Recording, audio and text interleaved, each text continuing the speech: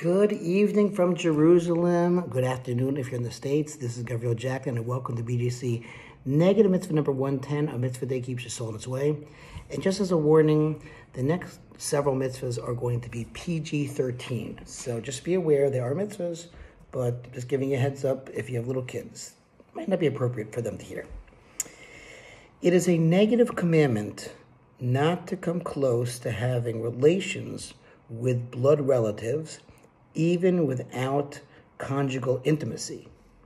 As the Torah says, none of you shall approach anyone near of kin to him to uncover nakedness, which means, for example, embracing and kissing. And I think they mean really kissing on the lips.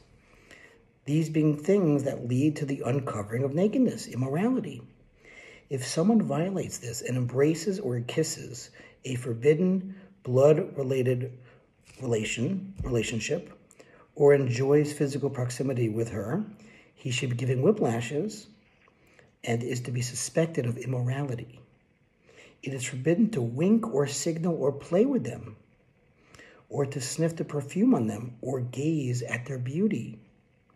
One should do nothing that leads to improper fantasy, and it is forbidden to produce a seminal emission, this being a very severe sin. If someone deliberately brings on an erection, he's in a state of excommunication.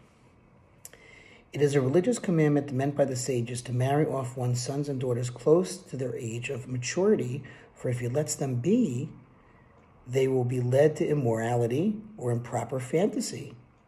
It is forbidden to marry a woman to a minor, for that is like immorality.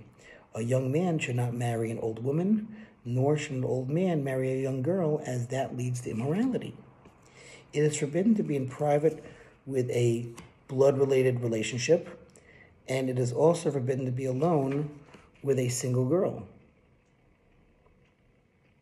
If someone is alone with a woman with whom he is forbidden to be in private, both should be flogged with whiplashes of disobedience, and their misdeed should be proclaimed, except in the case of a married woman. Then no flogging is given and is not proclaimed, although it is forbidden to be alone with her, so as not to give rise to slander about her children that perhaps they are illegitimate. This mitzvah is enforced everywhere and every time.